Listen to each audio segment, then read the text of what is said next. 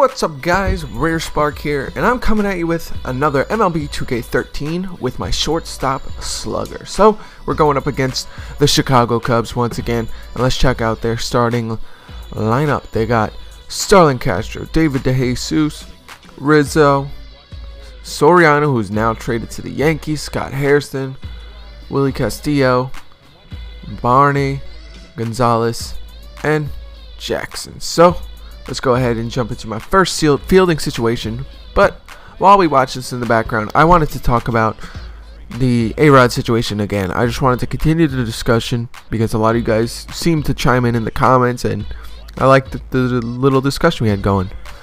Um, something I forgot to bring up last video was Ryan Braun. Now, he's sort of lumped into A-Rod more than he is the rest of the guys who got caught because he was already caught and then he lied about it. And because of the false positive test or whatever you know he was able to get off on it a year ago. So you know I think he should be suspended longer than he is. I think he should be somewhere in the boat um, with A-Rod you know because he already lied and ended up getting away with what he did because of the false positive, and he really needs to think about his actions because that guy might have gotten fired now. The FedEx guy who was like, you know, carrying these samples for the tests or whatever, and you know, that's really unfair, and he really needed to take that into consideration because that guy might have lost his job, and you know, you don't really know what happened to that guy after he ended up quote unquote screwing up the tests and you know it's really messed up. And I really think Ryan Braun should find out what that guy is up to and find out if he was fired or what and go from there and try and get his job back for him because now that he's been caught it's like you know there's nothing holding him back from helping that guy at all. And I just I think it's really scummy of him to have lied and it's almost as bad as A-Rod trying to get other people into biogenesis and or like you know purchasing the proof like the paperwork that showed that he was there. So you know back into A-Rod he's been playing decent for the Yankees. Um, they had him miss a game or something like that because of his hip I guess. Um, but other than that he's been playing pretty well. But you know, like I said, it's a little weird, you know, having the suspension looming over your head and continuing to, you know, play. I don't know. I just think that's weird. And I just feel like there's a better way that MLB should do it, maybe, you know.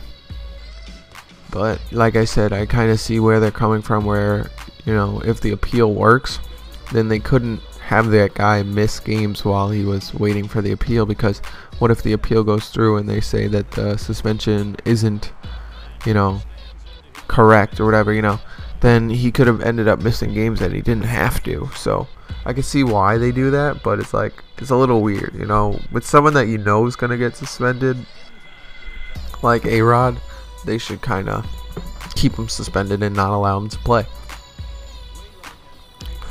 So let me know what you guys think in the comments below. You know, give me your response to the A-Rod and Ryan Braun situation. I know there's a few other players, but you know they're not into it as big. They just basically did biogenesis, and that was about it.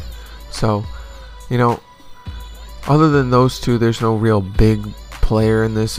So I think those are the two main culprits. And Ryan Braun probably wasn't that big of a main culprit until he got caught and ended up lying about it and getting off on it and saying I knew my innocence like or whatever you know whatever he said about how he was innocent and when he turned out he wasn't even innocent. So he ended up lying to everybody and making a fool out of everybody basically while he got to play last season. But as you see let's jump into the gameplay. I'm at the plate down 0-1 looking to get another hit on the day this one's coming right down the middle, but I end up swinging early at the slider, 90 miles per hour. Got to get ready for this at bat. You know, I haven't played this game forever because I have a bunch of gameplay saved up, and I probably need to jump on soon. I just haven't played in a, a long, long time. And watching the gameplays while I commentate them, it just makes me want to play. So, found these away you know, battling at the at bat, even though I'm down 0-2. Not gonna strike out. Hopefully, got to keep battling. This one's outside. I let it go, and uh, that was a 99 mile an hour fastball. One and two is the count, and I'm looking to battle until I get a hit. So this pitch is going to be outside again. I'm just going to look at it, let it go, two and two. You know, a lot of good hitters, they can take pitches, and that's what I've been working on, or at least that's what I was working on at this time, learning to take pitches, and I end up striking out even after battling. So, going back to the dugout, unfortunately. But let's simulate to the next event, which is going to be a fielding situation. So, you know, I'm going for that gold glove. Not sure if I'm ever going to get it, but, you know, I'm going to be looking to play great defense all the time for my team, and I'm throwing this guy out at first for the easy play, and that'll end the inning. So, let's jump ahead. Go into my next at bat here. One and two on the day with a double. And unfortunately, you saw my strikeout last time. So, Let's see if we can get a hit. This one is right down the middle, but I'm fouling it away. Too early, I guess, of a swing, and I gotta be careful because a lot of the times I'll see a pitch where I could line it down the line like that. But um, like I was trying to say, a lot of the time I see a pitch right down the middle, and I think I'm gonna smack it for a home run, and I end up flying out or whatever. So I need to work on that. But that's another double on the day, two hit day at the plate, and uh, two doubles. So and I ended up driving in the tying run. So this game is tied 3 to 3. Hopefully my team can capitalize on the good situation. But we have two outs, so let's cross our fingers here. But the batter took a first pitch strike. So we're down 0-1 with our two strikes. And now we're down 0-2. So not looking good for us. We are down 0-2 with two outs. We're down to our last strike of the inning but he throws a ball. So we're still alive. We're still alive.